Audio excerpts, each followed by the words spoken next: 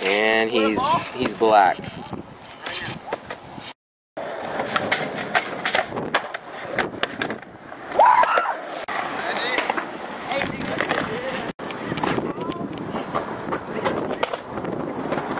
No!